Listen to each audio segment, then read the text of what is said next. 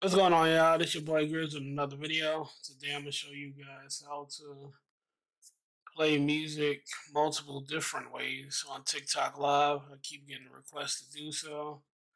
Uh, maybe I didn't explain good in my first video, so I'm gonna try to explain a little bit better.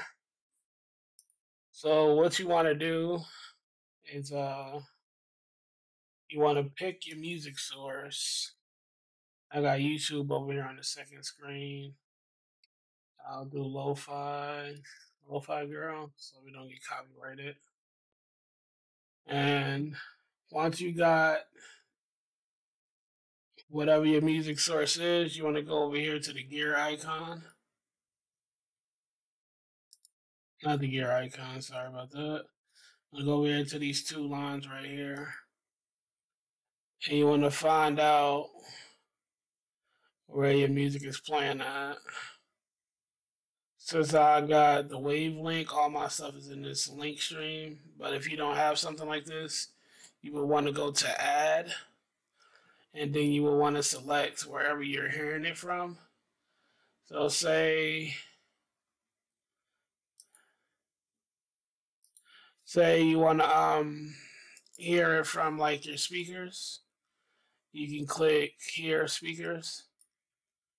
And once you do that, you just make sure you go here to the headphone jack down in the bottom right. You want to right click that. You want to go to open sound settings and advanced sound settings. When you go to advanced sound settings, I'm playing it on Google. So you want to change the top one because that's where you're listening to it from. So I'll select speaker. So now you guys hear it in my speaker. But your audience will also hear it on TikTok Live. If you don't want to hear it while it's on your speaker, just mute your speaker. You can just mute it and it'll still play for your audience. You see how it's going green right now? This is the music that's playing in the background. Hopefully that helped you guys out. And if so, leave a like, leave a comment if you need help on anything else. OBS wise, TikTok live wise, Twitch, Kick, or even TikTok. Other than that, guys, I'll holler at y'all in the next video.